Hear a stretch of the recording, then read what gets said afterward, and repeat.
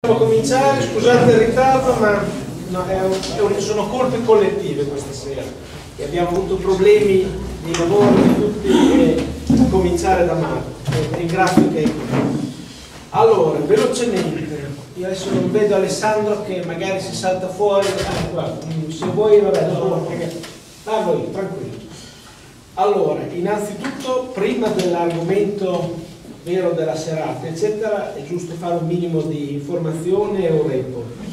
Allora, in vista delle prossime amministrative del 25 maggio, sempre che salvo sorprese, insomma si spera che siano quelle lì, eccetera, ci siamo, come avevamo, ci siamo organizzati parecchio, a livello di segreteria abbiamo fatto due riunioni e avevamo stabilito che avremmo, come di consuetudine, consultato un po' tutti i cittadini, portatori di interessi, le organizzazioni presenti a Sassomarcone ed è un bel numero. Parliamo di volontariato, scuola, sindacati, associazioni di categoria, eh, sport, chi più ne ha più ne metta. Alla fine abbiamo contattato 82-83 persone. Abbiamo fatto tre riunioni che poi sono diventate quattro perché non tutti riuscivano a starci e più o meno a tutti eh, abbiamo fatto domande le più cioè, abbiamo cercato di ascoltare molto e di parlare poco insomma diciamo che abbiamo due orecchie e una bocca per ascoltare il doppio e parlare la metà.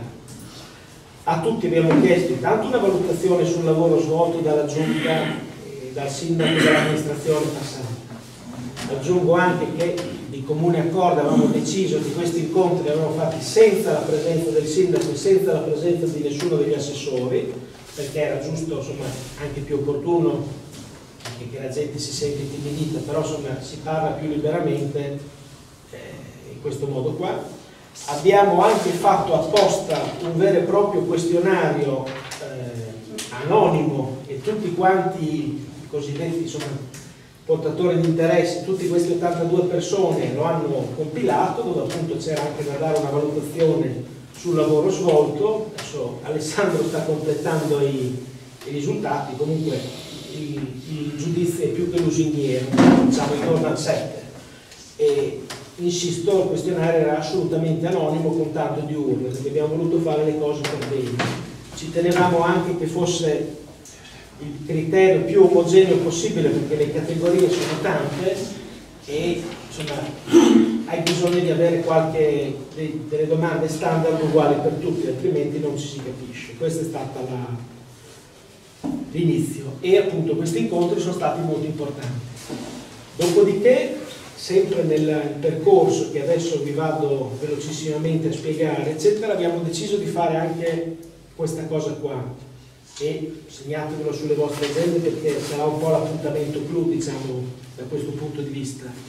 Sabato 22 marzo al pomeriggio e domenica 23 marzo al mattino a Colle Ameno faremo una specie di chiamiamola fabbrica del programma una piccola Leopolda tanto per capirci dove chiameremo parecchi cittadini manderemo circa un 2000 inviti, che sono no, 2060 inviti, che sono tutti quelli che hanno, tutti gli elettori delle ultime primarie, abbiamo i loro indirizzi, manderemo anche molte mail, non abbiamo 2000 mail, abbiamo circa 670 circa, e inviteremo tutti quanti a partecipare a questa iniziativa. L'idea banalissima, che poi in realtà sembra banale ma è bella complicata, è eh, battezzare, scegliere dei tavoli su degli argomenti programmatici, invitare i cittadini a discutere insieme quelle che possono essere le proposte, le idee da mettere nel programma e il risultato di questi 16-18 tavoli che abbiamo definito andranno a costruire né più né meno proprio il programma stesso della candidatura di, ricandidatura di Stefano Mazzetti. Ci tenevamo a fare questa cosa perché come abbiamo poi detto alla nostra riunione l'altra volta, l'ultima assemblea, eh, vogliamo che la candidatura sia la più partecipata possibile, sia la più civica possibile, che venga dal basso e che insomma ascoltare più cittadini possibile. Faccio notare che insomma, da quello che mi hanno detto anche a Bologna in provincia, su 39 comuni che vanno al voto, una roba così capillare, un evento di questo genere stile Leopolda, forse siamo gli unici che finora magari lo, farà qualcun altro anche, però finora siamo gli unici a fare una roba così, perché un conto, ripeto, è costruire il programma consultando un po' di gente qua dentro, un conto è fare un evento così partecipativo. Per cui sarà importante anche dal punto di vista organizzativo gestirlo bene, però insomma siamo diciamo, moderatamente ottimisti che l'iniziativa sia, sia utile. Per cui se chi, chi vuole, alcuni verranno, riceverete tutta una, una comunicazione, ma intanto ve lo anticipo, può partecipare il 22 e il 23 tenetevi liberi. Questo è quanto. Dopodiché eh, io come report sull'attività diciamo, elaborazione del programma non, non c'è molto altro da dire, non la voglio fare lunga. Eh, passerei se volete alla, quello che è il vero tema di stasera, che appunto eh, in tanti ci hanno chiesto, bisogna un attimino parlarne di quello che è successo, di quello che sta succedendo anche in queste ore, se non so se hanno approvato poi, no, non ancora, no. ancora un po', vabbè. Insomma, speriamo che andare a domani si concluda almeno quella, lo step della legge elettorale, su cui ne parliamo. Io cosa volete che vi dica? Cioè, personalmente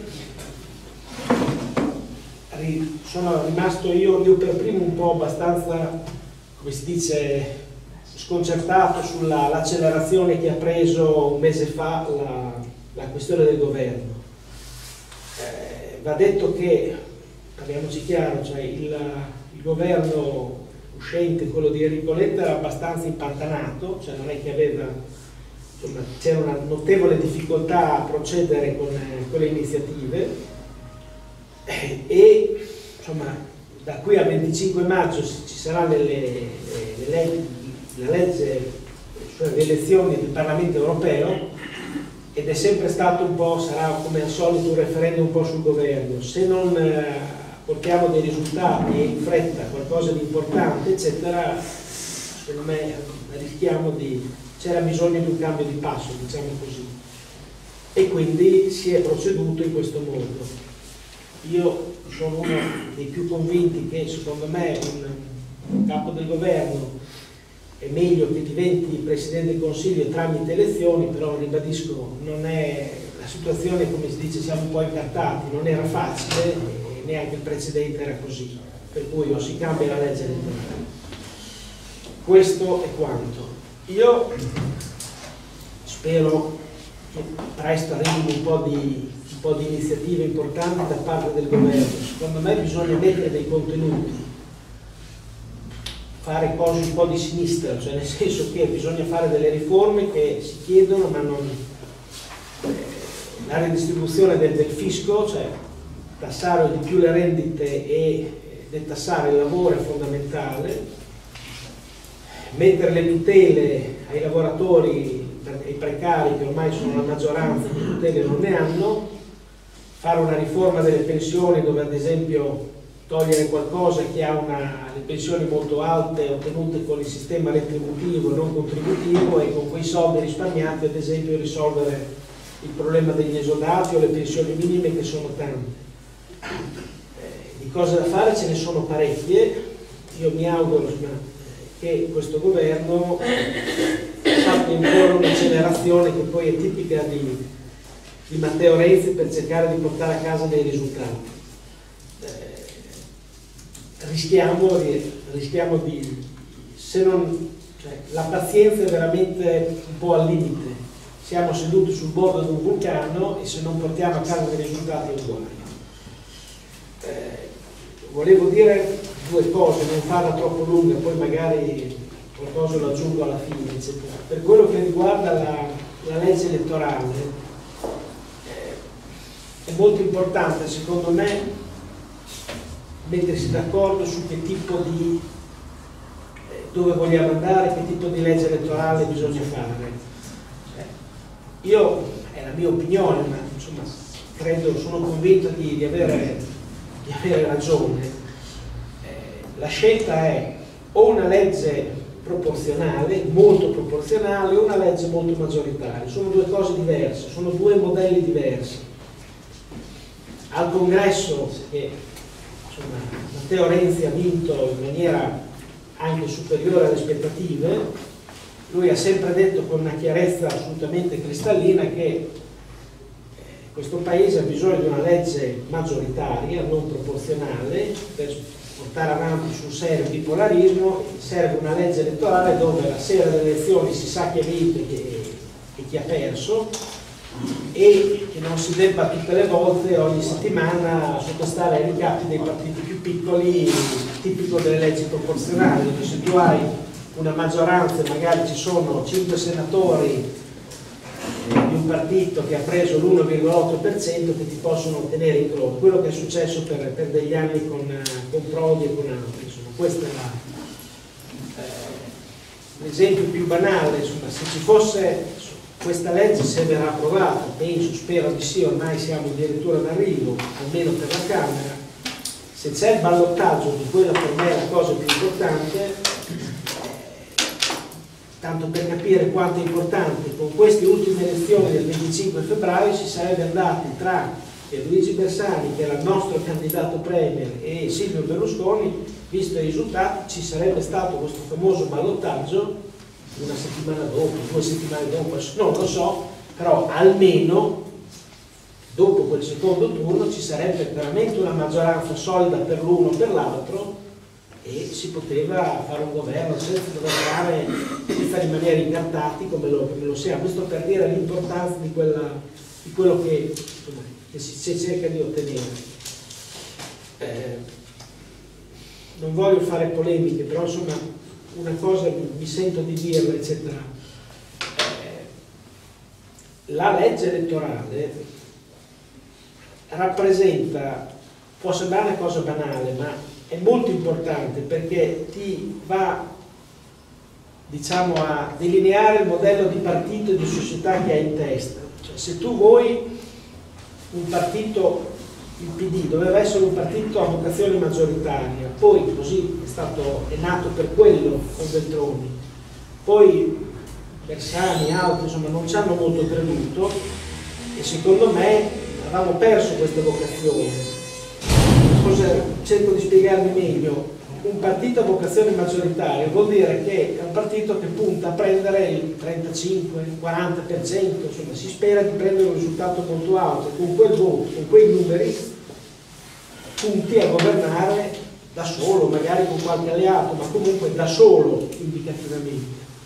Se invece vuoi una bella legge elettorale proporzionale, tu hai in testa un partito più piccolo, un partito che si rivolge più o meno sempre ai soliti elettori che abbiamo sempre avuto, che però ogni anno calano, un partito che non parla tutto il paese ma parla certe categorie che decide prima a priori chi sono i tuoi interlocutori, è un partito un po' più del Novecento, è un partito molto identitario, è un partito abbastanza vecchio, almeno dal mio punto di vista. Una legge maggioritaria, chi ha in mente questo partito qui, logicamente io lo capisco, non sa cosa farsene perché se tanto tu sai già a priori che più del 25 il 28% non esiste che lo prendi, che cosa te ne fai di una legge elettorale maggioritaria 37% non lo vedi?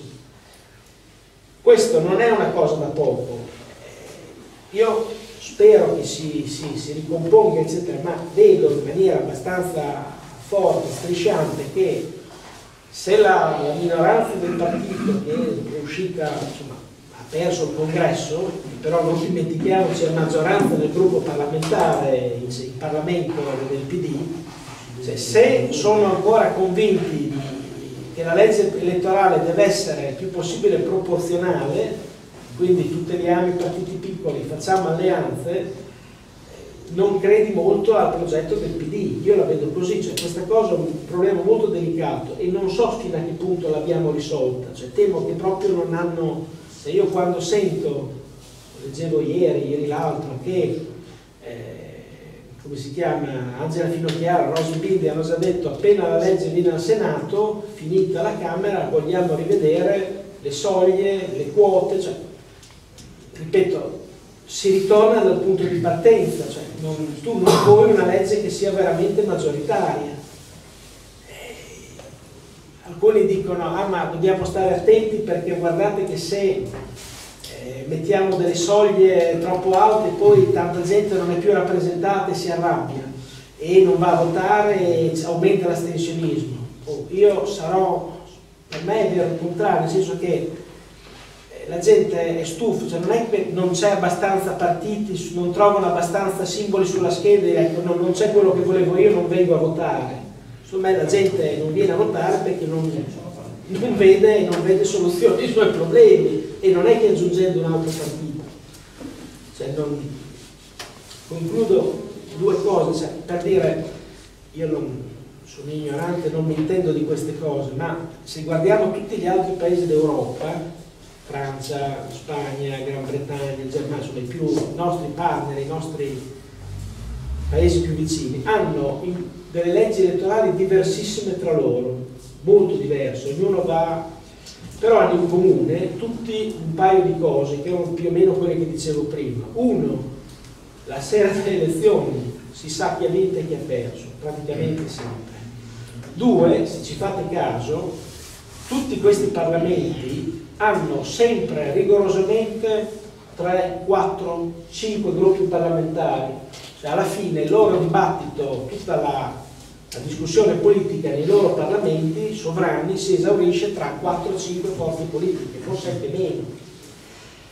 In Italia no, in Italia praticamente ci sono, quando fai la, la conferenza dei capigruppo si siedono in 15-16 ed è una roba polverizzata, atomizzata Secondo me questo è un grosso problema e ripeto, l'obiettivo della legge elettorale che propone Renzi è proprio evitare questa cosa qui, perché altrimenti non ne usciamo fuori coi piedi. E insisto, ci si può arrivare in tanti modi. In Francia c'è il doppio turno, in Germania c'è lo sbarramento al 5%, in Spagna c'è dei collegi piccoli che di fatto lo sbarramento è tra il 15 e il 18%, in Inghilterra c'è il turno unico e lì si viaggia tra il 25 e il 32%. Qui sembra che la, la soglia del 4,5% per i partiti coalizzati e l'8% dei partiti non coalizzati sia una, una roba, una sticella vergognosa. È molto, ma molto meno di quello che c'è in tutti gli altri paesi che vi ho detto e nessuno strepita. Cioè, a me fa, fa impazzire che questi partiti che prendono l'1,8, il 2,5, 3% si lamentano, cioè non si chiedono perché io non riesco a raccogliere più voti, perché io conto così poco. La loro richiesta è abbassiamo la, l'asticella e vogliamo entrare. Cioè, secondo me si fanno la domanda sbagliata perché non, cioè, non è possibile e insisto, eh, negli altri paesi è così, cioè, nessuno si... Cioè, non, in Italia sopravvivono secondo me con questa legge parecchi partiti, per cui non, non vedo niente di... Non, non vedo una cosa scandalosa, però anche all'interno del PD diciamocelo francamente, parecchi parlamentari proprio su questo versante non, per loro è assolutamente dobbiamo rivedere le sorti. Io spero che invece la, la legge vada avanti così com'è, mi rendo conto che è un compromesso, ma su questa cosa qui, sul modello di partito, cioè sul modello di legge elettorale maggioritaria per un partito a vocazione maggioritaria, per me non si deve assolutamente tornare indietro. Questo è quanto. Io non, non voglio portare via spazio al dibattito, poi magari qualcosa l'aggiungo, dopo. Eh, magari non subito, lasciamo parlare prima qualcun altro. Eh, Marco, dopo ci, lui è responsabile della,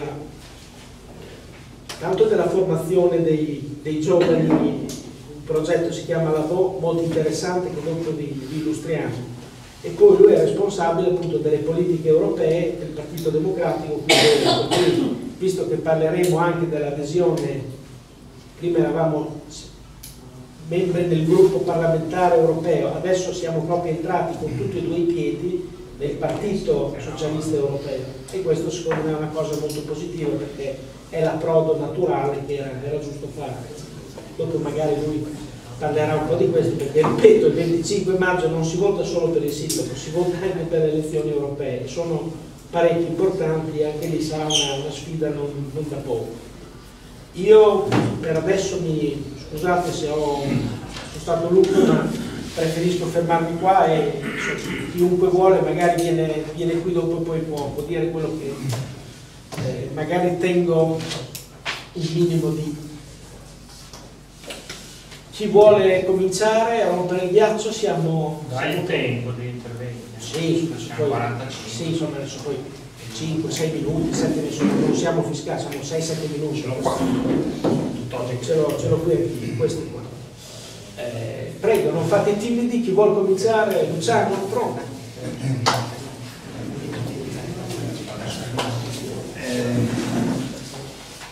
Io eh, innanzitutto partirei con un dato di ottimismo, mm, perché se no, come dire, ripetiamo un cliché che non, che non mi entusiasma, no? quello eh, che diciamo partiti che hanno dato vita al Partito Democratico erano soliti fare, no? anche quando le situazioni diciamo, sono eh, positive, c'era sempre questo alone di, dire, di, di auto... Eh, dire flagellazione e tante altre cose. Allora io direi che prendiamo, incominciamo da un dato positivo. Il primo dato positivo mi pare che, eh, se non ricordo male, abbiamo la, per la prima volta nella storia del Partito Democratico il segretario del partito che è anche Presidente del Consiglio dei Ministri. Questo lo prevede, lo prevedeva lo statuto, lo prevede lo statuto, il passaggio elettorale c'è stato ed è stato particolarmente importante perché non è che Matteo Renzi è diventato Presidente del Consiglio e prima segretario. E poi eh, quindi io direi che come partito mi piacerebbe sentire un po' di entusiasmo, un po' di persone che dicono oh finalmente siamo riusciti a fare quello che nessuno fino ad oggi è riuscito a fare e cioè che il segretario del partito è anche primo ministro.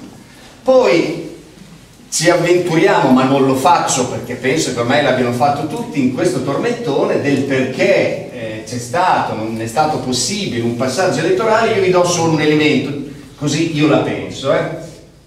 Io penso che Matteo Renzi abbia fatto un ragionamento all'indomani della sentenza della consulta che ha poi possiamo discutere anche della consulta, però è una sentenza molto particolare, quella che ha azzerato il porcellum, addirittura ci ha riportato più indietro perché ci ha consegnato un sistema elettorale proporzionale che sarebbe il suicidio per qualunque elezione politica, perché voglio dire, lì non vince nessuno a partire dal... questo è un assunto di fondo. Io credo che Matteo Renzi abbia fatto questa operazione perché veniva meno un'arma, come dire, di ricatto nei confronti dei partiti perché potessero sentirsi costretti ad andare a una modifica della legge elettorale. L'unico strumento era quello che il segretario del partito si facesse carico di questa situazione. E poi aggiungo anche, ci sono una lunga serie di altri elementi che rendono questa scelta particolarmente opportuna, perché credo che il giudizio degli italiani sul governo Letta era quello che era, e quindi occorreva, ma non solo al governo del paese, occorreva al Parlamento, guardate come, eh, come dire, anche i tempi di lavoro del Parlamento, occorreva che qualcuno desse, avesse il potere la facoltà di imprimere al Parlamento e al governo una sterzata forte. Quindi io voglio dire, davvero vorrei che eh, il governo Renzi fosse giudicato come in tutti i paesi normali si fa non su delle ipotesi, non su quello che ciascuno vuole o vorrebbe, ma su oh, quello che il governo Renzi è in grado di realizzare. Credo che ciascuno di noi, in particolare chi l'ha sostenuto, è, è in attesa però anche su questo veramente io faccio un appello a tutti, smettiamola con questo costume che non è solo del PD ma è un costume nazionale che le uniche cose che riusciamo a fare è leggere il particolare dei problemi di quel settore, di quella situazione, di quel particolarissimo contesto. Proviamo a fare un ragionamento che faceva Kennedy, non, scusate, non sono veltroniano, ma invece di preoccuparci di cosa il paese può fare per noi, proviamo a metterci sulle maniche e dire cosa possiamo fare noi. E la prima cosa che il Partito Democratico può fare è di smetterla con questi tormentoni delle maggioranze e delle minoranze, dell'aspettare al Senato perché poi su questo non passiamo. e lo dico, non mi sono vestito di bianco, non sono nulla di bianco stasera, mi scuso, ma però io se sul principio posso essere d'accordo, però annuso una forte dose di strumentalità in quello che è avvenuto anche oggi in Parlamento. Lo dico perché sul principio io posso essere d'accordo, però eh, su tante modalità sinceramente non mi pare che sia una cosa così straordinaria. Detto questo, tutti noi dobbiamo, credo, lavorare in senso positivo, dare il nostro contributo perché i temi all'ordine del giorno sono estremamente importanti, ma non sono i temi di Matteo Renzi, sono i temi di ciascuno di noi, temi lavoro, scuola, giovani, mondo della rappresentanza, Europa, cioè sono questioni sulle quali non è che giochiamo, eh, come dire, nelle piccole... Eh. E poi, fatemelo dire, anche questo, poi dopo penso di aver abusato del tempo, eh, mi piacerebbe anche un'Italia normale nella quale ciascuno fa quello che deve fare. I sindacati fanno i sindacati, i partiti fanno i partiti, il Parlamento fa il Parlamento, perché quando un'Italia ancora su cose che nessuno conosce già si proclamano degli scioperi, io scusate, sono veramente indignato. Quindi un sorriso per tutti, coraggio e credo che ci siano tutte le condizioni perché Matteo Renzi faccia bene. Chiedo scusa se ho abusato del tempo.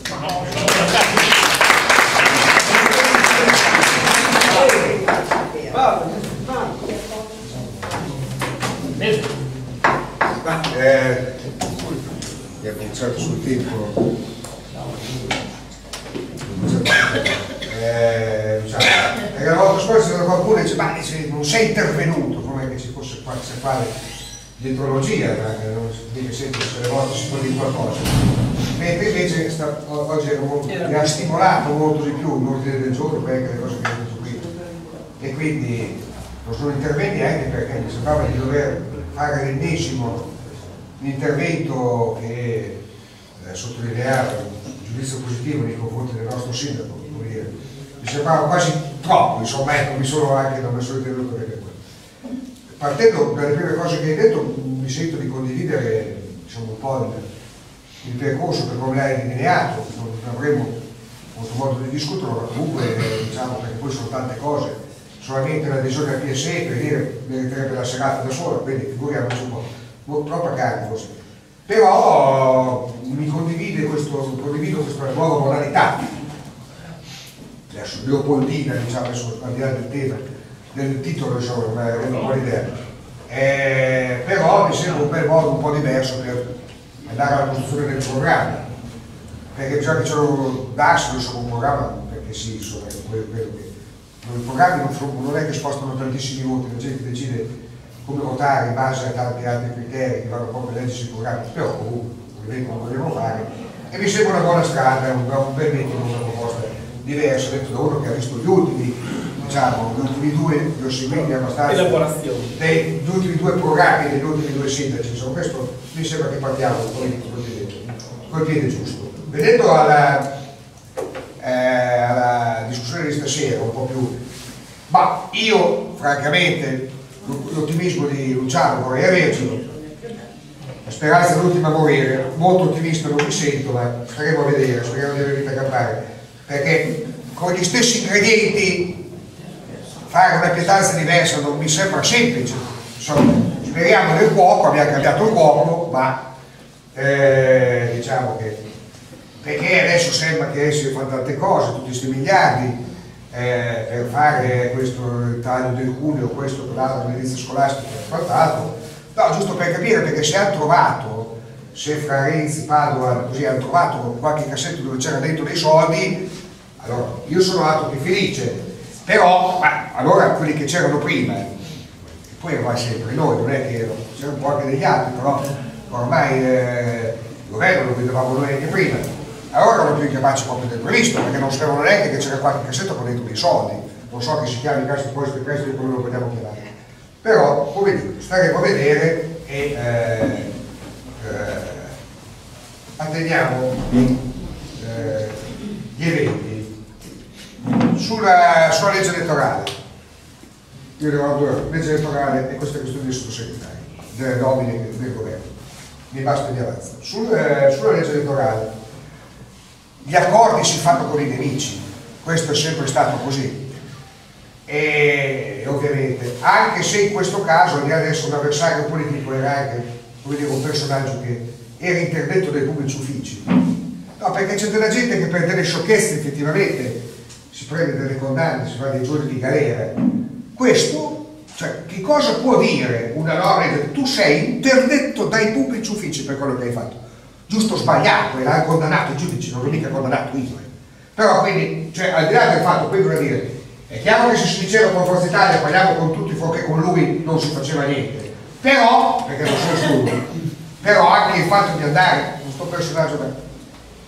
E va bene, però mi sembra che comunque l'accordo complessivo che è stato fatto a me mi lascia un po' perplesso, eh, perché, perché eh, se ci fosse una legge del Salvontaglia avesse partorito questa legge elettorale per come è delineata è frutto di un compromesso però francamente sulla qualità di questo e poi lo starò a dire perché è chiaro che in questo momento evidenziare i difetti di questo proposito di legge elettorale come hanno già fatto i giusti costituzionalisti effettivamente sembra quasi di voler dare conto. Eh, Civati aveva fatto una proposta molto semplice sostanzialmente di recuperare praticamente il Mattarello e poi, eh, poi, andare a votare anche perché non dimentichiamoci mai che questo Parlamento è, è, va avanti perché c'è una continuità degli organi costituzionali ma la legge elettorale con cui è stato eletto è stato dichiarato incostituzionale. Che poi questo, un Parlamento eletto con una legge elettorale incostituzionale si ponga l'obiettivo di cambiare la Costituzione oh, io la tranquillità vorrei avere la tranquillità di, eh, di Luciano eh, io francamente poi vedremo il risultato che salterà fuori eh, da questo punto di vista. E per quanto riguarda la legge elettorale è eh, fare in fretta ma fare finta.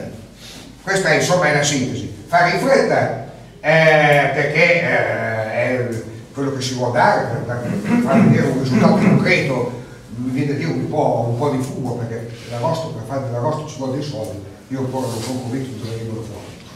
Eh, chi ha fretta sostanzialmente ma abbastanza fretta è, è Berlusconi deve far passare ancora un annetto scarso e poi dopo lui bisogna che torni a votare perché nel 2018 è vecchio decrepito evidentemente no? e perché le cose stanno in questi tempi mentre quell'altro, l'altro socio minore Alfano eh, contrariamente eh, lui con più riesce a portare avanti le cose ecco, eh, con meglio è perché evidentemente non appena Berlusconi si toglie, dei mezzi piedi lui conta di spartirsi in realtà e avrà gioco facile nel centro-destra. Però eh, io credo che eh, fra l'altro con una in, in, due giorni la Commissione Affari Costituzionali ha avuto due giorni per discutere di questa legge elettorale. Poi sono stati un mese che non se ne parlava più. Cioè io credo che sotto più di un profilo eh, almeno potrebbe essere migliorata. Guarda anche a me Luciano una qualche, io posso anche capire che ci sia una qualche vena di strumentalità da parte di chi in un certo senso eh, vuole diciamo, rallentare l'iter di questa legge elettorale, ma la battaglia su, sulla parità di genere è sacrosanta. Ma quante persone, quante donne sento dire eh, ma perché bisogna premiare il merito? Ma dico, ma scherziamo o ci prendiamo in giro? In tutte queste la storia eh, eh, del nostro paese, di come è improntata la, tutta la nostra società, è una società che è maschilista, e se non si passa dalle quote non si scardina questo sistema. E, e, que, e questo eh, eh, richiamo al merito è semplicemente perché si vuole schivare. E poveretti sti bischeroni del Movimento 5 Stelle a non arrivare a capire, non cogliere questa roba qua e arrivare a votare contro una roba di questo genere io, meno male che c'è Grillo, che Grillo c'è perché ogni giorno che passa mi sembra che sta facendo Karachiri e in un certo senso eh, viene incontro alle nostre difficoltà con eh, il tempo. Ah, chiudo su questa questione dei sottosegretari perché eh, poi come vedi c'erano tante cose da dire ma bisogna, bisogna parlare tutto. Allora, perché eh, coglievo in Renzi una certa verve, come dire, quando c'era il caso per esempio dell'ex ministro della Cancellieri come di altri fare mettere in evidenza certe criticità.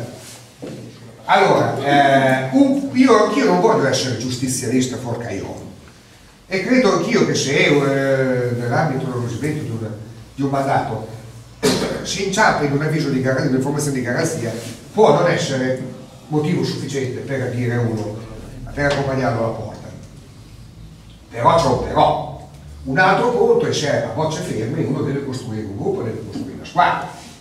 A meno che non mi si vengano a dire che oh, eh, le persone capaci disponibili non hanno finito, ci sono rimasti solo quei 3-4 lì, bisogna prendere quelli lì per forza. Perché in realtà quelli che hanno preso il posto di tanti altri, credo bravi e capaci e meritevoli con dei curriculum forse anche migliori che sono rimasti fuori perché sono entrati quelli lì. Perché mi devono spiegare eviterò, mi veniva una battuta ma potrebbe essere scambiata per sessista, me la tengo per me. Ma però eh, voglio dire, la Baracci, due mesi fa con ignominia l'abbiamo lasciata fuori dalla corsa a candidato governatore eh, alla regione Sardegna e dopo due mesi va bene andare a fare il sottosegretario. Cioè io ecco, poi ripeto, eh, io credo a questo punto che bisogna avere, eh, avere fiducia. Il successo di Renzi sarà il successo del Partito Democratico e temo proprio che il fallimento di Renzi eh, sarà il fallimento del PD. Questo- questa è la condizione. E io questo l'ho, e io questo l'ho capito molto bene. Non so, altri credo che facciano un po' più difficoltà eh, a capirlo, lo testimoniano, credo anche qualche, qualche assenza di troppo, insomma, che abbiamo anche, secondo me, in questa, in questa sera, in questa sera. Quindi io speriamo, però come vedi, caro Carlo, concludo, io qualche dubbio ce l'avevo, io ho ritenuto che fosse un'occasione buona per manifestare. Grazie.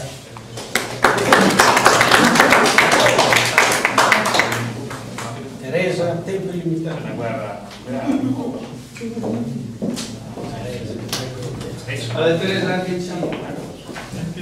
Eh, bravo, eh. Te sei bravissimo.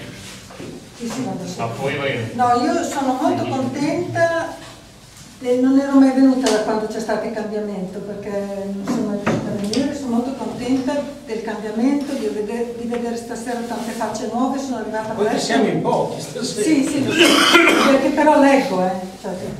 Eh, quando sono entrata non conoscevo molte delle persone che erano qui, che non erano venute abitualmente e a me questa cosa mi fa un gran piacere. Quindi metto la prima pietra è questa. Non ho paura dei cambiamenti, penso che quando arriva della gente nuova sia una ricchezza sempre e su questa bisogna lavorare. Senza... La democrazia è questa. Si cambia, si vota, si viene avanti, questo è il primo tassello. Primo. Secondo, eh, quindi sono contenta che si ragioni, che si parli con franchezza, che si dicono le cose. Sono anche molto contenta di quello che ho visto per la preparazione di questa campagna elettorale, pur non avendo fatto le primarie, abbiamo già un sindaco che ripresentiamo, quindi poteva essere un motivo di non essere reattivi. Invece ci sono dei segnali che io apprezzo molto, la prima cosa è il questionario, cioè aver, fare un'analisi di mandato, allargandola ai cittadini, raccogliendola con questi strumenti, a Carlo gliel'ho già detto, lo voglio dire davanti a tutti perché sono dei passaggi importantissimi su un metodo diverso di amministrare anche quando si ha la maggioranza quasi schiacciante e sta dentro un pensiero di fare politica, di farla con i cittadini, ma di farla insieme, raccogliendo dei pareri in maniera anche innovativa rispetto al passato. Mi va molto bene, eh, Carlo mi ha detto di venire la prossima settimana, sono libera, verrò e ci starò. A me che si chiami Fabbrica del Programma, che sapete mi ha appassionato, o che si chiami Leopoldina, non me ne frega niente.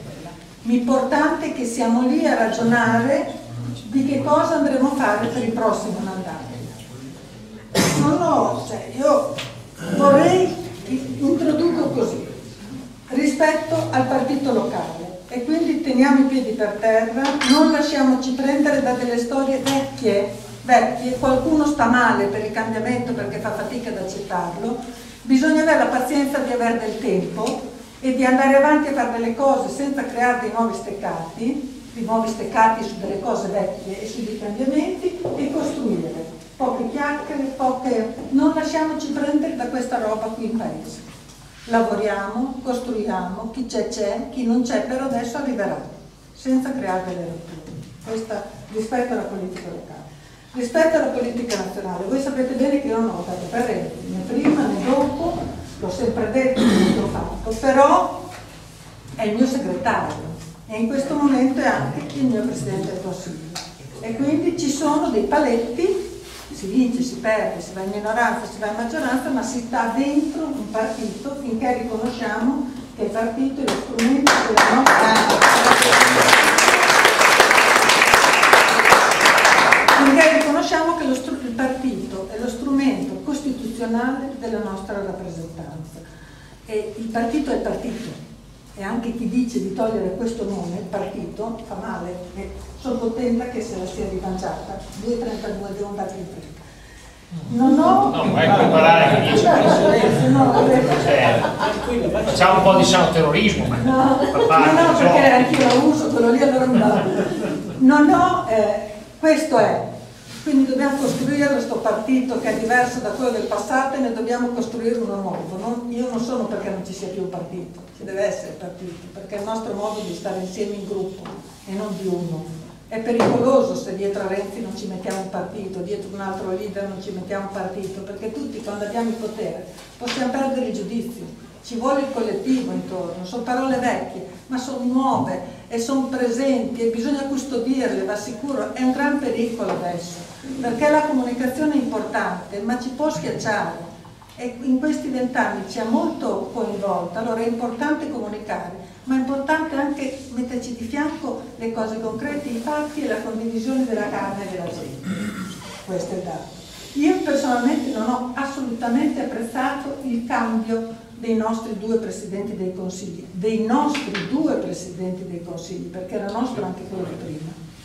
Non ho apprezzato, ci sono state motivazioni politiche, l'avete letto, l'ho scritto, che io non so, ma mi fido di quello che ha fatto là, perché quando si è là si sta, quelli che sono là sanno che aria tira, quindi io non lo so. no.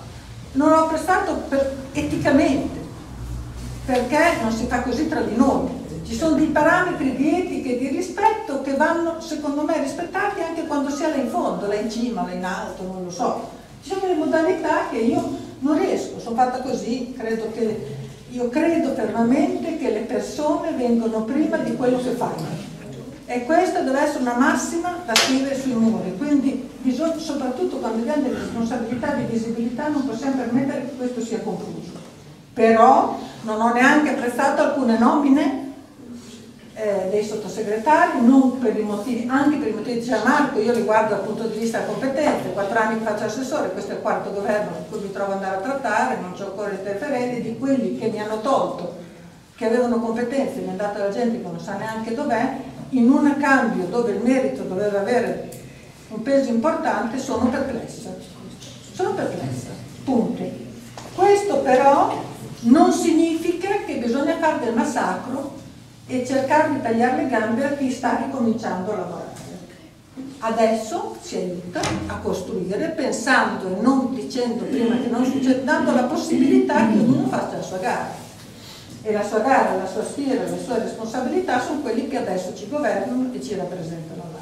Quindi questo è essere, soprattutto quando si hanno delle responsabilità. Poi si tiene aperto il dialogo dentro il partito, si sostiene, si accompagna e ci si dicono le parole schiette quando si è qui come stasera che ci si può dire tutto, perché questa è la sede dove ci si può parlare bene rispettandosi. Io voglio il cambiamento, anche se non era cambiaverso, è lo stesso, io lo voglio lo stesso il cambiamento. Voglio, condivido i tre punti che sono la legge elettorale, la riforma elettorale, il taglio del Senato e il titolo quinto, io ci lavoro con il titolo quinto, quindi è chiaro che lo voglio. Però nella, voglio una legge maggioritaria, non ho visto quelli di prima che non la volevano, non ho visto quelli di prima che non la volevano, ci sono diverse sfaccettature da Veltroni in poi, ma non siamo mai arrivati a volere altro, altro. quindi per favore non facciamo delle letture che non sono sostenute, né- se non le facciamo nell'avanti non facciamo neanche nell'indietro. Quindi io voglio una legge maggioritaria, però ci dobbiamo svendere per fare delle cose. Cioè, i fini, cioè, i mezzi e i fini devono essere correlati. E questo per me è una pietra che non ci possiamo permettere, perché ci rimette l'identità del nostro partito. e ci rimette la fedeltà di poter dire che su certi principi non giochiamo contro. Io stasera sono eh, scandalizzata, non come la sera dei 101, ma molto, perché quello che è successo io non sono mai stata una femminista, sono del paese, mi conoscete, ho sempre fatto la casalinga col grandiato, ho tirato su quattro figli, ho fatto le... no, non sono una femminista, ma noi abbiamo detto una cosa proprio. Abbiamo detto 50-50, io prima volta che sono andata alla prima assemblea, la più grande innovazione era che in quell'assemblea c'erano 3.000 persone e 1.500 dollari a Milano.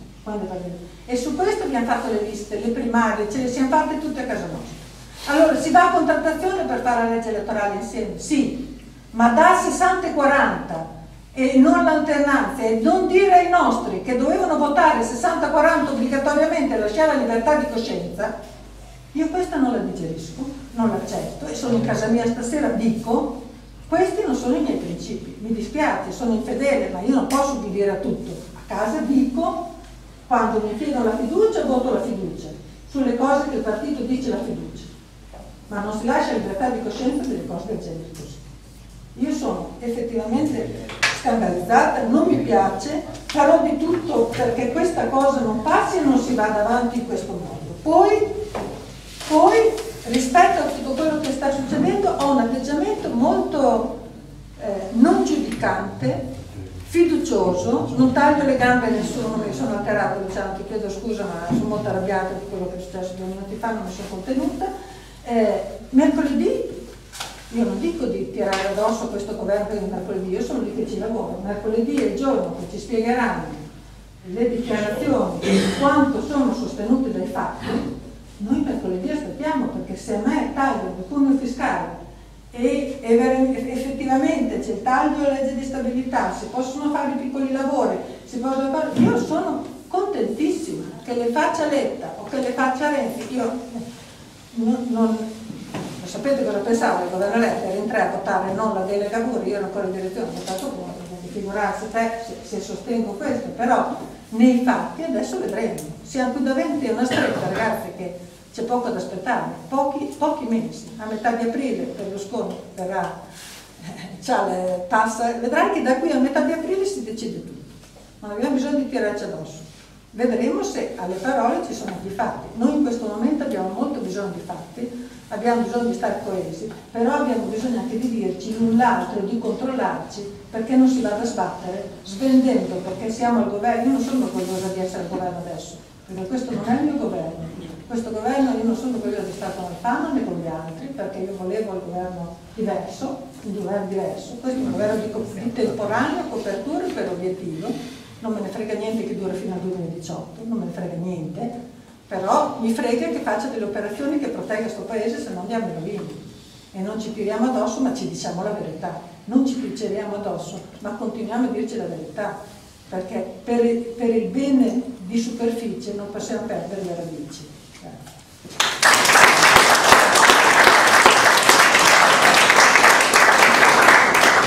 Stefano.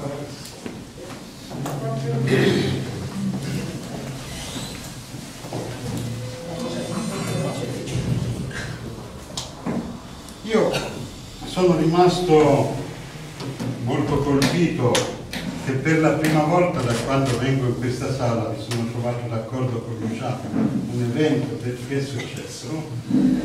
Non è grave. E mi sono trovato anche in disaccordo con Marco su alcuni punti, e detto qui sta cambiando il mondo.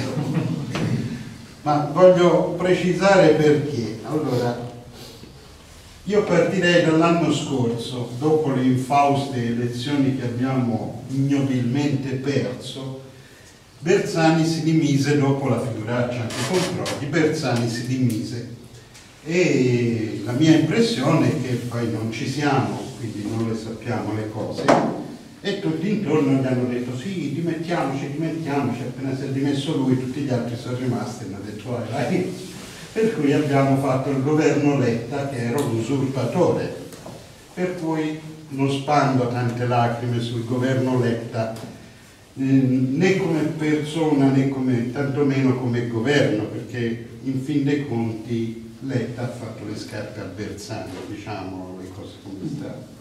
quindi che ora Renzi abbia fatto le scarpe a letta non è elegante, però Non è proprio così. no, non è elegante. ma- Con questo, secondo me, bisognava andare a votare l'anno scorso. Secondo me bisognava dire a Napolitano, noi il governo non ce la facciamo a farlo, andiamo a elezioni. Si rivota, secondo me vincevamo. Si votava a giugno, noi vincevamo. Con la stessa legge Con elettorale. la stessa legge elettorale noi vincevamo. Tanti grillini, io ho parlato con tanti grillini, hanno votato per Grillo perché tanto il PD aveva già vinto. Quindi secondo me potevamo vincere.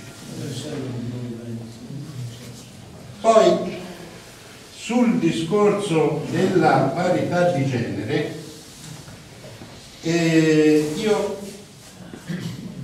sono da una parte contento che non siano stati approvati gli emendamenti. Mi spiego. È giustissima la parità di genere, noi la facciamo, sarà un plus del nostro partito rispetto alle altre forze politiche. Quindi noi ci presenteremo alle elezioni, noi ci presentiamo in ogni eh, contesto che abbiamo un uomo e una donna. Dovremo modificare probabilmente il nostro statuto per far sì che almeno il 40% dei capolista siano donne, questa è una lacuna che abbiamo, però sarà un plus del nostro partito. Per eh, riprendo un attimo Letta, Letta era un- diventato un corpo anche avulso dal partito dopo le primarie, perché uno che mi fa il discorso abbiamo preparato il piano di rilancio che piacerà a tutti i partiti, anche al PD, io mi chiedo te con chi l'hai preparato il piano di rilancio? Con Berlusconi, perché eh, se piacerà anche al PD vuol dire che il PD non ne sa niente.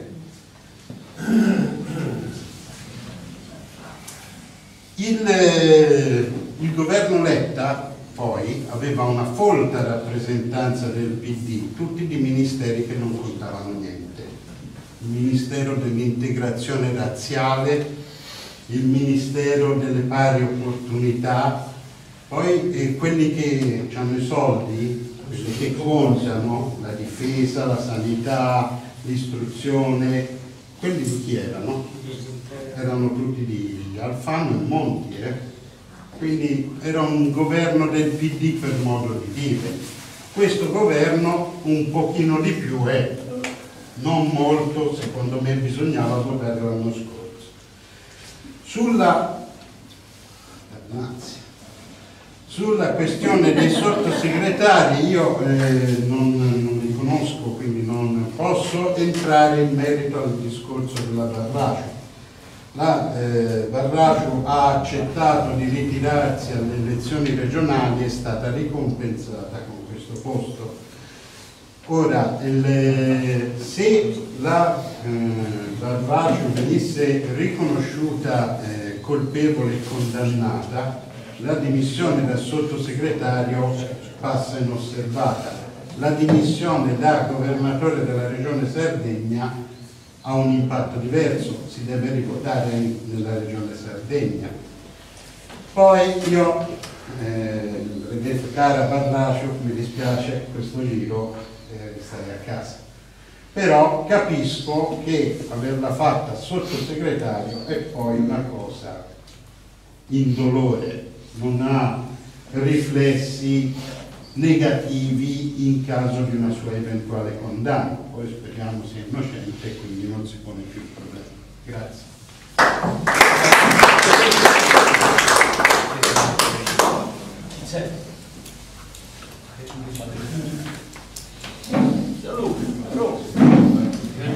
Bucci, dice non so chi che sempre vengo dopo Bucci. Chi vedi vengo dopo Bucci sono giovane anch'io. Non ci metto meno. no? Intanto eh, sono abbastanza entusiasta perché arrivo da un'ottima iniziativa del Labo, la spiego in poche parole. Diciamo che mh, eh, il Partito Democratico di Bologna organizza questa esperienza con tutti i ragazzi da provincia di Bologna e Bologna. È un progetto di eh, innovazione politica, quindi eh, è basato su vari incontri, ci sono vari temi, ci sono vari tutor e ogni incontro c'è la possibilità di prima di tutto ascoltare um, varie personalità del mondo politico, eh, qualsiasi tipo anche a livello comunicativo, con altri temi, e poi c'è la possibilità di dialogare. Questa sera è stato il primo incontro ed eravamo una cinquantina circa, giusto? Ed è stato veramente entusiasmante vedere tanto, tanto entusiasmo verso la politica partigiani che purtroppo nell'ultimo periodo non abbiamo visto tanto.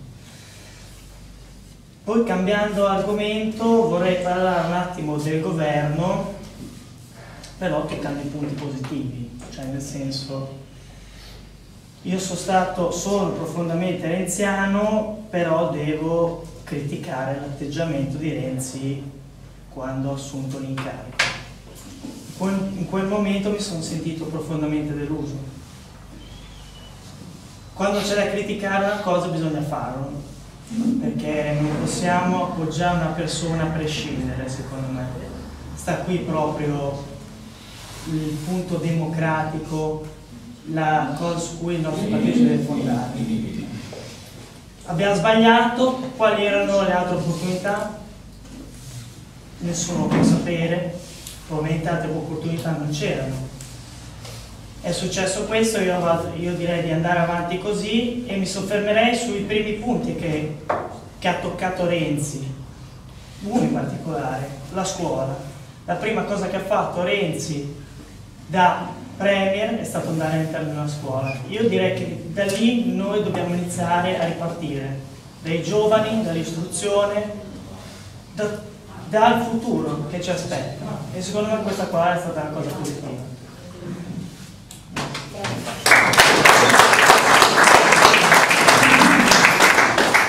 Stefano. Io lo dopo sembra che io abbia bandiera europea dietro.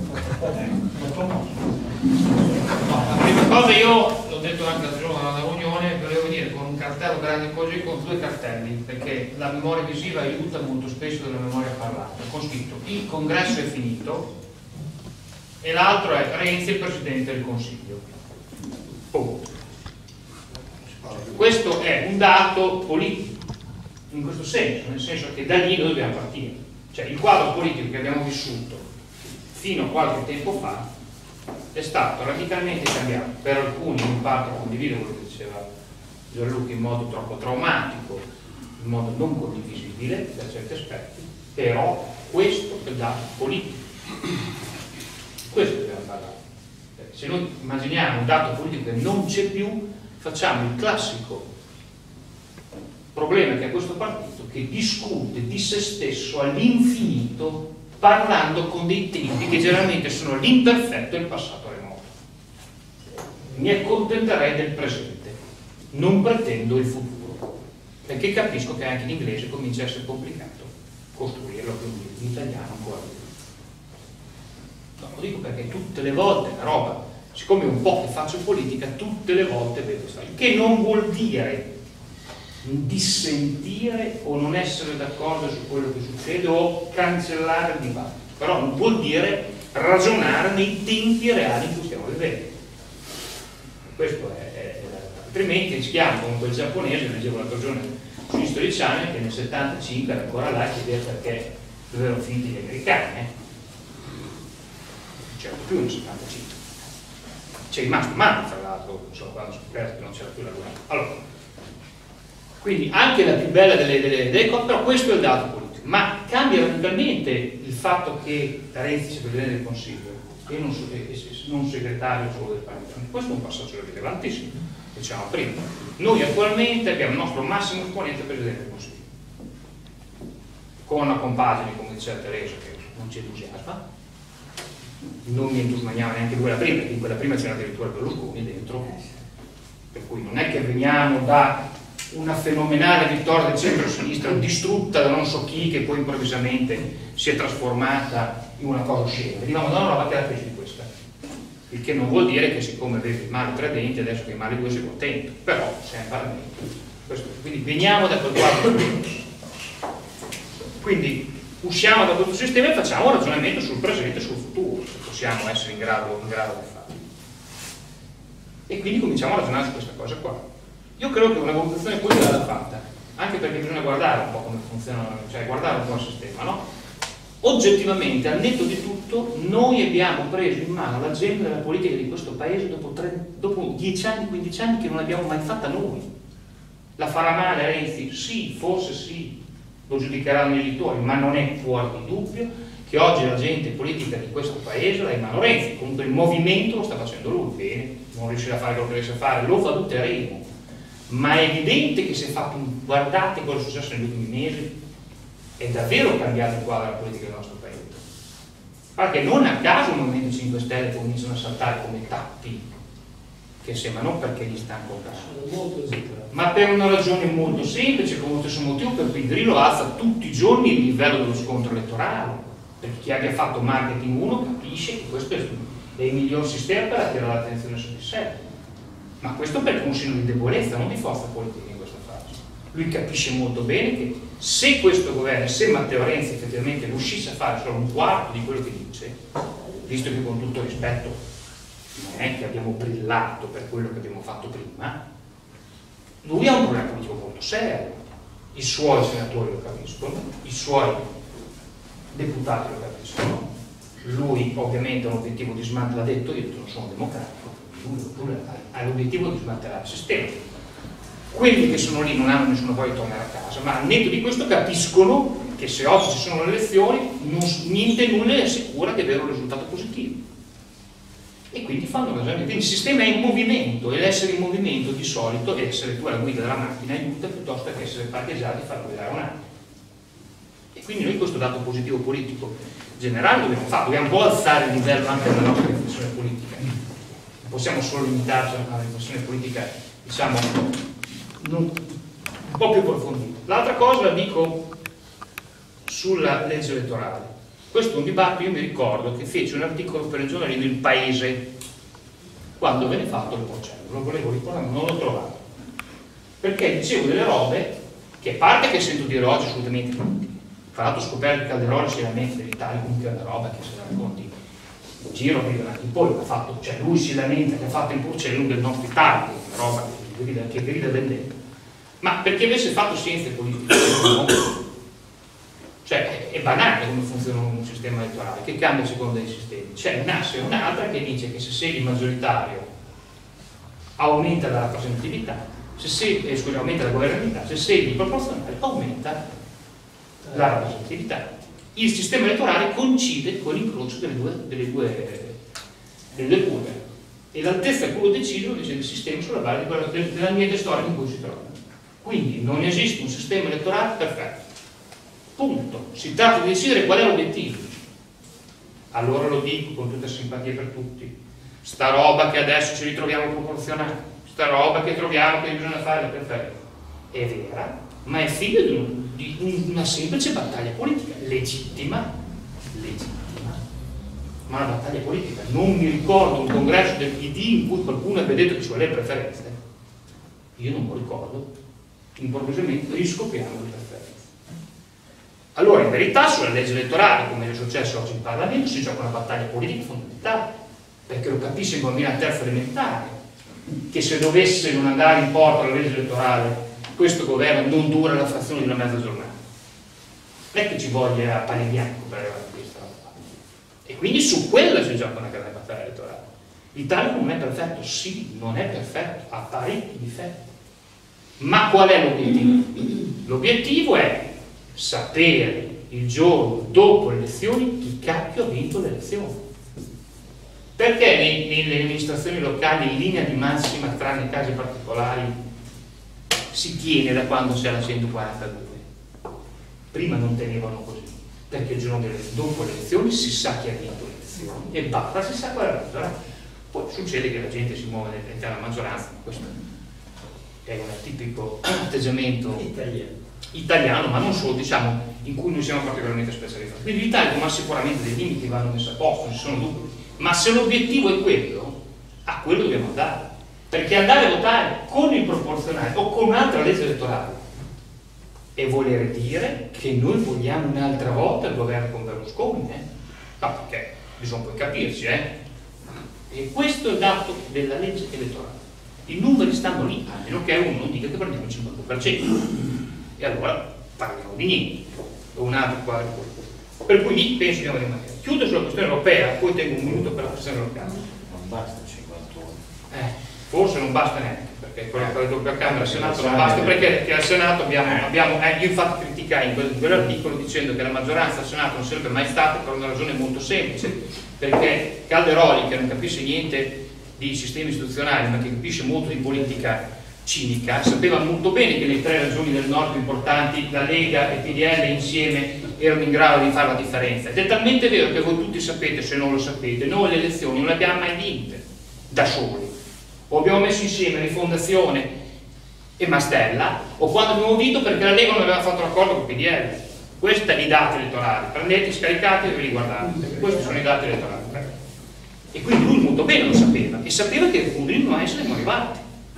Sapendo che anche, fra l'altro, lo stesso Presidente della Repubblica non avrebbe permesso di fare una legge con un premio di maggioranza anche al Senato di questo genere, che è talmente che la Corte Costituzionale e poi ha seguito la bocciata.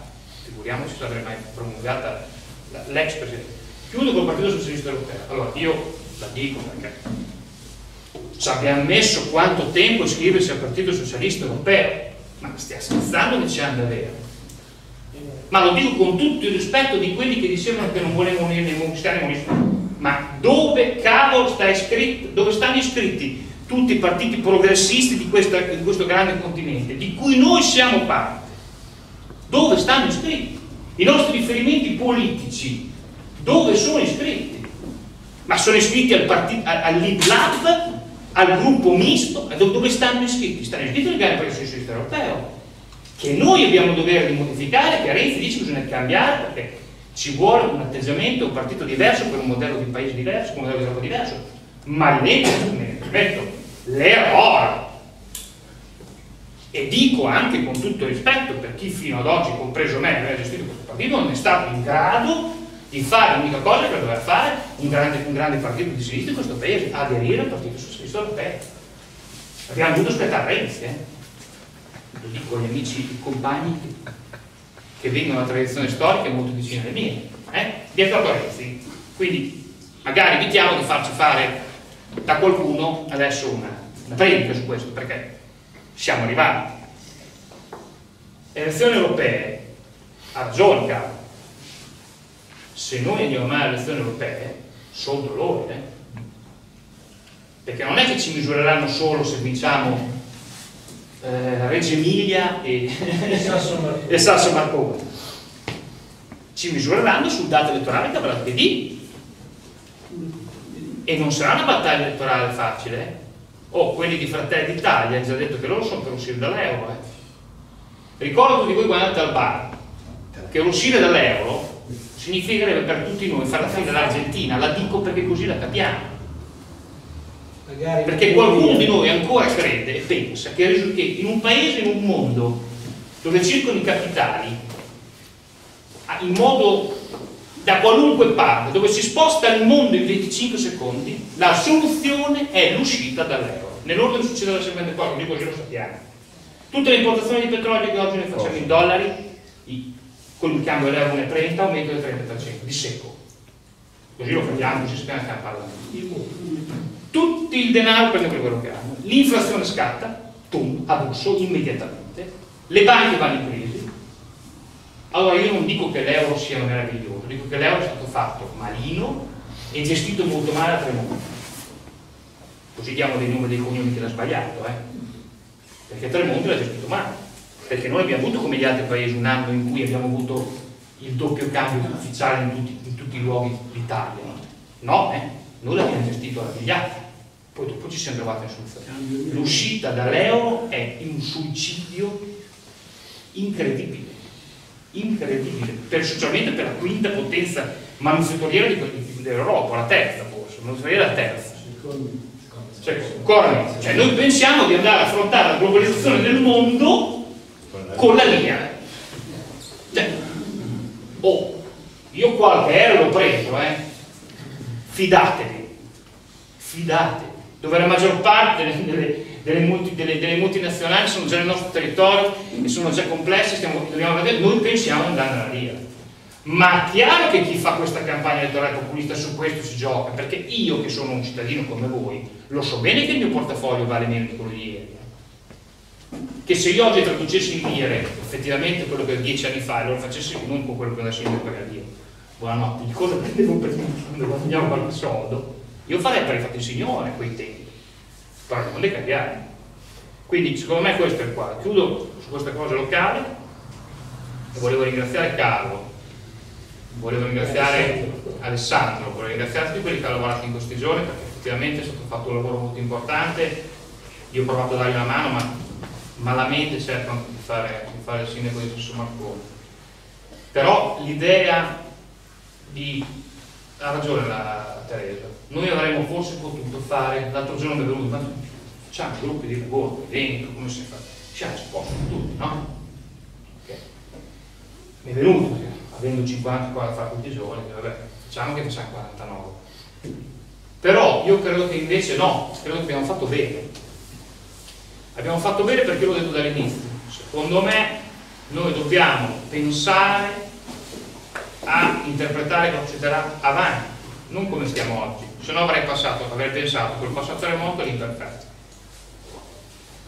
Noi dobbiamo provare a fare venire le persone, a fargli capire che cosa possono fare, a spiegargli che cosa non possiamo fare e soprattutto spiegargli che la possiamo fare insieme.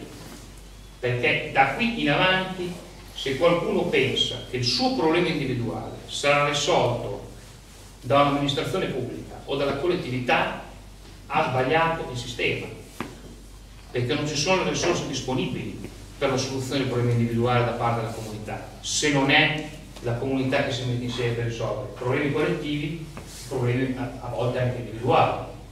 Sapete quanta gente, dicevo io, che avevo una storia che piangeva come un vaporetto? Eh? Cioè ormai mi fa un pelo sullo stomaco e non me ne accorgo neanche più. E, sapete cosa ho risposto? Cercherò di fare il possibile. E sarà un qualcosa, ma non sarà quello che lei vuole, quello che lei si aspetta che gli possiamo dare.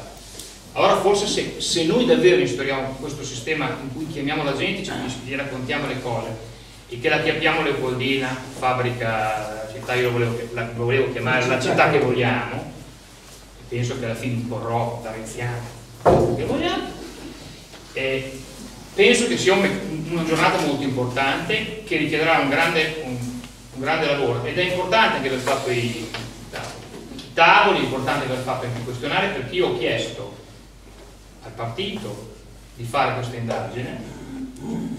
Loro avevano fare, ma detto io non voglio esserci, non voglio sapere di niente perché come ho detto un'altra volta io non sono autocandidato ma vorrei che qualcuno mi candidasse se è possibile so che è un elemento di novità in alcuni casi però in questo caso lo pongo come elemento tradizionale.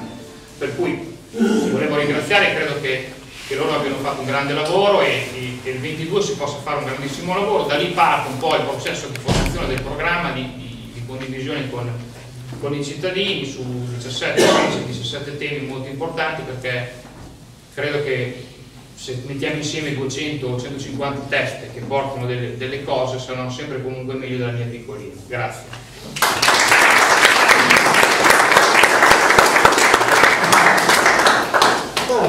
Quanto fa 15? 15. No, innanzitutto intanto buonasera, grazie di essere, grazie di essere qui, ringrazio Carlo, ringrazio il sindaco, ringrazio tutti quelli che sono intervenuti e mi scuso con voi per il ritardo, però come diceva prima Giancarlo penso che sia giusto raccontarvi anche che cosa stavamo facendo e quindi qual era il motivo di questo ritardo. Stavamo, eh, eravamo al Circolo Murri con più di 60 ragazzi, eh, età media sotto i 35 anni, più donne che uomini. Eh, 30, età media, che ho detto? 35. 35, sì, esatto, 35. Eh, più donne che uomini. E di che cosa parlavamo? Parlavamo di valori. Perché un partito come il nostro ha bisogno di accelerare, ma ha bisogno anche di non essere disorientato. E per non essere disorientato deve essere chiara la direzione di marcia. E noi abbiamo tutti lì i nostri punti di riferimento. Sono scritti valore del- nei valori del Partito Democratico. Quindi siamo partiti dallo statuto, dal manifesto dei valori, dal codice etico, anche per orientare l'amministrazione locale. E penso che questo sia, sia di per sé un valore importante da, da ricordare, proprio perché so il disorientamento che c'è, mi capita di andare in giro nei circoli, eh, in provincia, e delle cose che, sentite, che ho sentito prima le ho ascoltate anche in giro, un certo disorientamento, eh, di non capire il perché di questa accelerazione. E poi diciamoci la verità, un cambio che ha fatto male, perché è premier, è segretario Renzi, però era vice segretario anche Letta. Io vorrei, prima di dire rispondere anche a alcune cose che sono state dette, provare però a tornare un attimo a riavvolgere il nastro dei fatti, perché noi andiamo in una velocità continua, per cui è tutto contemporaneo, e quello che è successo ieri già ce lo siamo dimenticati. Prendiamo una data che è significativa, il 10 febbraio. Vi ricordate cosa è successo il 10 febbraio? Sono, guarda, meno di un mese fa, un mese fa oggi, giusto? Che cosa succede il 10 febbraio? Succede una cosa che non è mai successa. Cioè il Presidente della Repubblica chiama il segretario del Partito Democratico al Quirinale a parlare. Ve lo ricordate? Cioè, noi non c'eravamo in quella sala, però provate a pensare a che cosa, a che cosa, che cosa si sono detti. E che cosa si sono detti? Lo ritrovate in una frase che ha inaugurato eh, Matteo Renzi nella direzione che poi è stata la direzione che ha portato al 14 febbraio. Vi ricordate la citazione? Due strade avevo davanti a me e scelsi la meno battuta. Quali sono le due strade che c'erano davanti? Perché io penso che molti di noi ci siamo fatti l'idea che una delle due strade fossero le elezioni. Signori, la strada delle elezioni non c'era. Perché in questo sistema costituzionale noi ci dobbiamo ricordare due cose. Uno, che il Premier non è eletto direttamente dai cittadini. Non è eletto direttamente dai cittadini. Per quanto noi abbiamo la truffa di, lo ricordate, Berlusconi, ma non è eletto dai cittadini. No? È il Presidente della Repubblica che vista una maggioranza parlamentare vede la composizione del governo e lo affida a chi ha i numeri per poter. Il secondo è che lo scioglimento delle Camere non lo fa un segretario di partito, ma anche qui lo può fare il Presidente della Repubblica.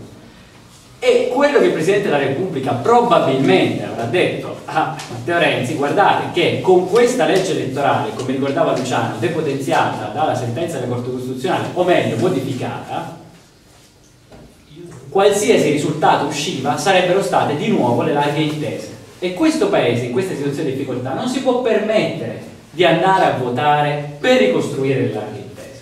Non se lo può permettere perché la crisi economica e sociale che voi conoscete bene morde, ok? E quindi qual era l'alternativa che aveva Renzi? Era l'alternativa più classica, si chiama rimpasto di governo. Si diceva prendi alcuni uomini della tua segreteria e mettili dentro quel governo, così prendiamo ossigeno, arriviamo al semestre europeo e dopo il semestre europeo siamo arrivati al 2015. Questa era una delle strade.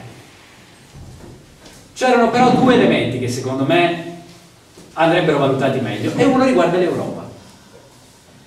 Uno riguarda l'Europa perché secondo me non tutti ci stiamo rendendo conto di, di- di qual è la situazione in questo momento dell'euroscetticismo. Avete quella bandiera intorno, cioè guardatela bene, guardiamola veramente bene.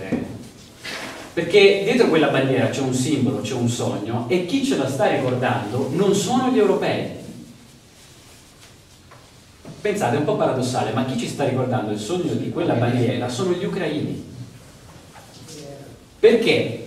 Perché c'è chi lotta, perché quella bandiera vuol dire democrazia, vuol dire libertà, vuol dire diritti fondamentali. Noi quella bandiera lì, quel valore, l'abbiamo perso, cioè non lo, non lo difendiamo, abbiamo dimenticato come si difende. E se tu hai quella situazione, abbiamo pagato il governo Monti, abbiamo pagato a caro prezzo il governo Monti, perché lo ricordate chi l'ha sostenuto alla fine dei conti il governo Monti dal punto di vista del prezzo elettorale? L'ha sostenuto il Partito Democratico. E se abbiamo pagato il governo Monti, ma secondo voi chi avrebbe pagato il costo elettorale del governo Letta? Il PD. Il PD. Allora, se questa è la situazione, io mi rendo conto, anch'io, pur avendo, eh, io ho votato Renzi, l'ho sostenuto e lo sostengo, e non era questo il cambio diverso che volevo avere, però se non avevo altra possibilità, io preferisco rischiare piuttosto che sopravvivere, perché questo paese sono troppo, troppi anni che sopravvive e ha bisogno di rischiare, ha bisogno di rischiare un'idea di futuro. Come diceva giustamente Teresa prima, non bisogna avere paura del cambiamento, anzi, ci sono nuove energie, nuovi entusiasmi che portano alla però Bacone diceva la speranza va bene come colazione, ma a cena funziona poco. E gli italiani sono arci stufi di avere promesse elettorali, vogliono fatti. Quindi bisogna avere con questo atteggiamento, con questo uh, governo, un atteggiamento che è quello degli stoici, cioè misuriamolo sui fatti, ma misuriamolo con fiducia sui fatti, sostenendolo.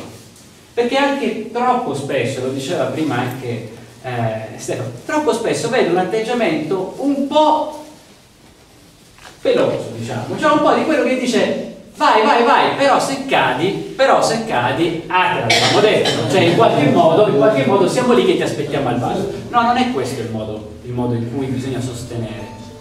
Già finito? Posso prendere un paio di no. Non è questo l'atteggiamento con il quale bisogna sostenere, ma bisogna sostenere con l'ottimismo di chi vuole provare a fare le cose. Quali sono le cose che dobbiamo fare? Allora, parliamo, ne metto tre perché sono... Allora, legge elettorale, visto che l'avete detto, cuneo fiscale e poi ritorno all'Europa. E concludo su quello. Legge elettorale. Se io fossi stato da solo a scrivere una legge elettorale avrei voluto una legge maggioritaria con la soglia di sbarramento al 5%, con le preferenze. Se l'avessi scritta da solo l'avrei fatta così. Ok? Però le regole del gioco della democrazia non si scrivono da soli, perché sono regole che devono valere per tutti. E noi abbiamo visto che quando c'era qualcuno, come prima ci ricordava l'esimio eh, Calderoli, che ha pensato di fare una legge elettorale per non far vincere, ha bloccato un paese per dieci anni. Ok? In questo paese bisogna ricordare che le regole della democrazia si scrivono insieme e noi dovremmo saperlo perché l'abbiamo scritto nella Costituzione, che è la più bella del mondo, perché? Perché lì ci siamo messi diverse anime a pensare al futuro del paese, al futuro dell'Italia. E allora quali sono le regole che sono state trovate? L'assenza di preferenze. Una soglia di sbarramento, cioè alta, cioè nel senso eh, con un premio difficile, diciamo difficile, e un proporzionale. Però qual è il valore? Lo diceva prima Carlo, il valore vero è quello del doppio turno il valore vero è che una volta che io so che le due anime più forti si confrontano e una delle due vince, allora garantiamo un'alternanza. In questi, in questi anni in Italia si è garantita l'alternanza di governo, vi do una notizia. Sono vent'anni che noi garantiamo l'alternanza. Ma perché? Perché nessuno riesce a governare questo paese. Ma perché è ingovernabile? Perché la macchina amministrativa di questo paese è ingovernabile. Smettiamola di chiamarlo bicameralismo perfetto al massimo è paritario, ma sicuramente è imperfetto. Io avrei fatto una cosa diversa rispetto a Renzi, questa sì, cioè lui ha chiesto un accordo e l'accordo si fa con gli avversari, non con gli nemici, ma con gli avversari, eh, su riforma del titolo quinto, abolizione, o meglio modifiche del Senato, poi vorrei ricordare anche l'abolizione delle province, che sono anni che lo diciamo, però sta andando, sta andando quasi in porto, eh, e la riforma della legge elettorale. Io non avrei messo tutto questo, ma perché neanch'io mi fido, come molti voi qui, non di Renzi, non del governo, ma di quei parlamentari.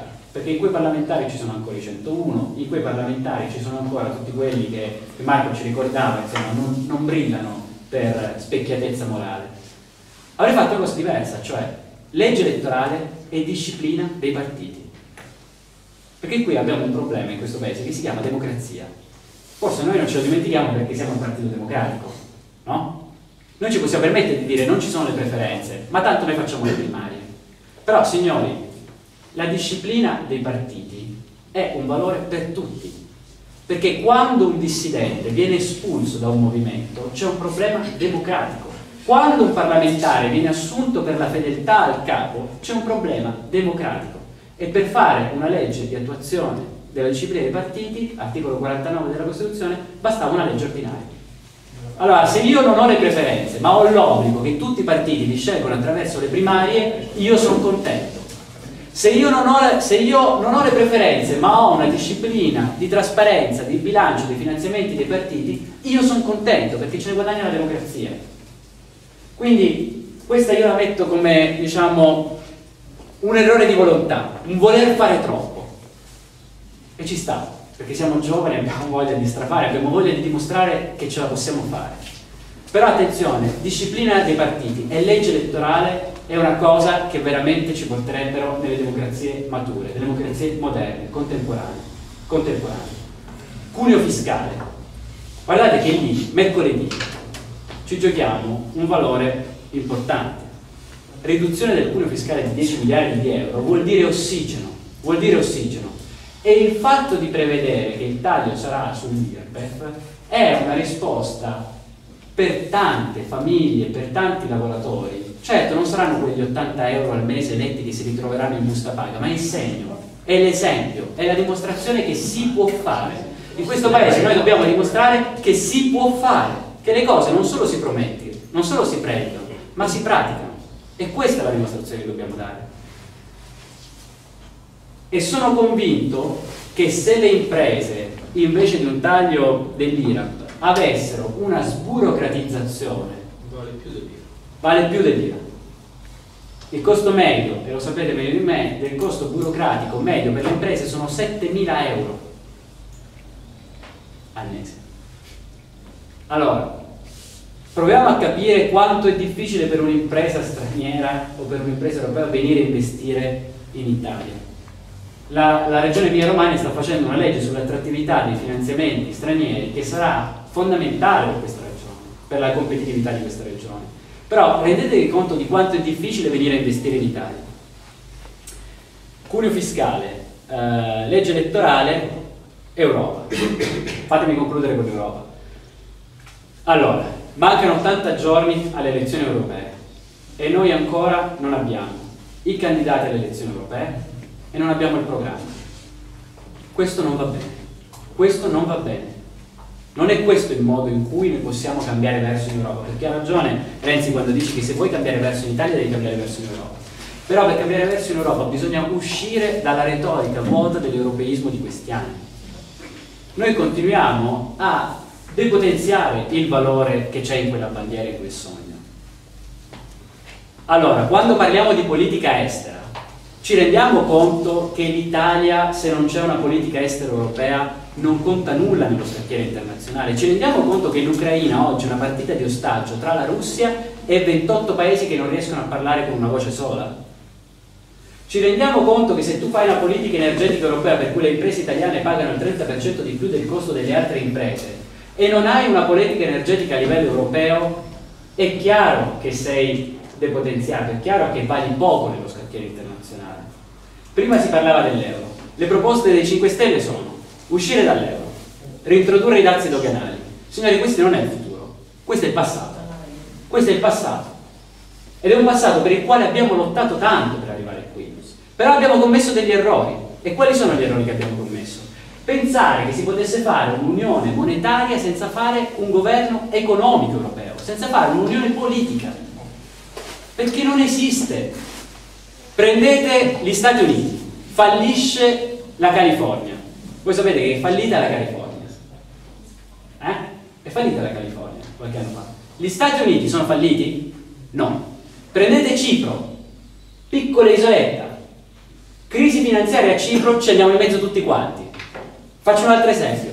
Prendete il Giappone, debito pubblico del Giappone è altissimo, eppure nessuno dubita sulla solidità dello yen, della moneta. Italia, debito pubblico dell'Italia alto, tutti dubitano sulla solidità dell'euro. Ma perché? Perché non puoi fare una moneta senza fare un governo europeo dell'economia, non puoi fare una politica senza avere la possibilità di capire che il lavoro ormai circola e noi non possiamo fare una competizione a ribasso, che il costo del lavoro andiamo nel posto dove costa di meno, ma riusciamo a fare delle norme uniche europee sulla tutela dei lavoratori, sul contratto salariale unico, sulle tasse, sull'imposizione fiscale, parliamo di politiche europee, poi verranno i no, ma parliamo di contenuti, parliamo di idee, perché questo ci ha insegnato un europeista che si chiama Altiero Spinelli. Altiero Spinelli che il 14 febbraio facevano i 30 anni dell'approvazione. Torniamo a contare in Europa, perché noi dobbiamo ritrovare anche l'orgoglio di essere italiani. L'orgoglio di essere italiani vuol dire essere all'avanguardia, non essere le ultime ruote del carro che devono fare i compiti a casa perché ce lo dice, ce lo dice chi più bravo di noi. Riproviamo a trovare un po' di orgoglio nazionale, perché sono convinto che dall'orgoglio nazionale passa molto della fiducia. Chiudo con una chiosa perché capisco eh, la lettura di, eh, di Teresa sulla, sul tema della parità di genere. E capisco anche perché conosco eh, l'assessore che è una questione, è una battaglia importante, è una battaglia importante quella della parità di genere, non la sottovalutiamo, sono d'accordo, c'è chi ha cercato di strumentalizzarla, però non possiamo cadere in quei tranelli, noi abbiamo scritto che la parità di genere fa parte del PD e si negoziano le regole della democrazia, si negoziano le soglie di maggioranza, ma non si negoziano i valori. Gli ideali non si negoziano. Noi dobbiamo imparare a mettere una linea per cui c'è qualcosa per cui si può fare un compromesso e c'è qualcosa sulla quale non si può negoziare. La legalità, i diritti civili non sono negoziabili. Non sono negoziabili. Però sono convinto anche di una cosa, che non è che noi faremo la parità di genere con un tratto di norma. Non possiamo fare introdurre la parità di genere in Italia con un tratto di norma. Sapete qual è una foto che andrebbe veramente portata nelle scuole? È quella del Presidente della Repubblica che si inchinava davanti a Lucia Annibali, l'avvocato di Pesaro che è stata sfregiata. Ecco, quello è l'Italia che mi piace, cioè è l'Italia che il potere non lo, non lo dimostra con l'arroganza, ma lo dimostra con la gentilezza.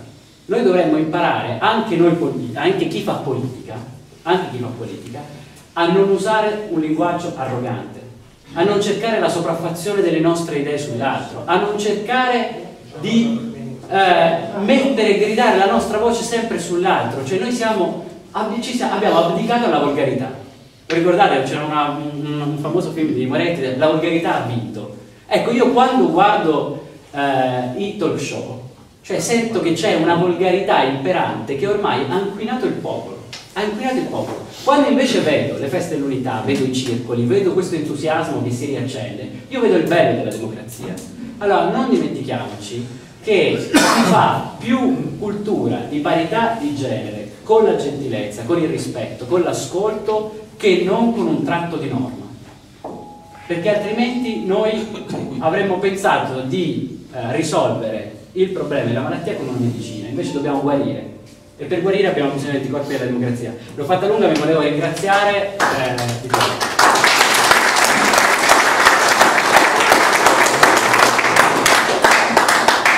C'è qualcun altro che ha voglia di... Ah. No, tanti timidi sono poi tutti, vero? Beh, abbiamo fiaccati.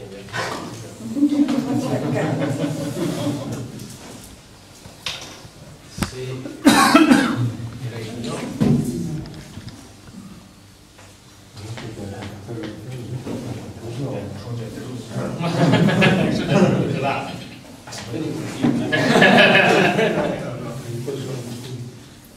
Freddo, fare come diceva il Presidente, nella pratica un valore, andare al no, ma c'è sempre tempo un un valore. valore sempre un Allora io ripeto, valore. due minuti, ribadisco quello che ho detto io, intanto grazie perché nonostante poi un po' di problemi e acciacchi siamo venuti parecchi lo stesso anche stasera. Eh, quello che abbiamo di fronte nei prossimi settimane e mesi è parecchio tosto perché appunto doppia campagna elettorale e per le elezioni europee e quello mi preoccupa tanto e per le elezioni del sindaco quello mi preoccupa tantissimo perché il lavoro è più nostro, è più da fare da noi. Diciamo però insomma ho abbastanza fiducia nel senso che siamo non hai ancora servitato il giornale. e poi non c'è neanche Poi dopo, quello mi preoccupa di meno questo sono un problema alla volta vediamo concentriamoci su quelle due cose lì Eh, a breve ripeto il 22 e 23 c'è questo appuntamento qua. Eh, chi è disponibile mi raccomando ce lo faccia sapere.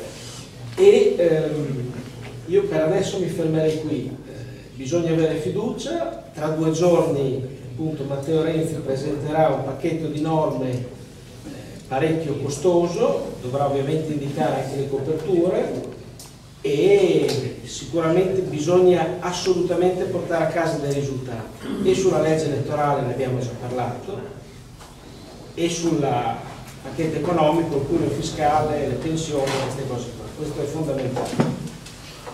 Io mi fermo qua e basta, insomma, per adesso direi che ce n'è abbastanza. Grazie.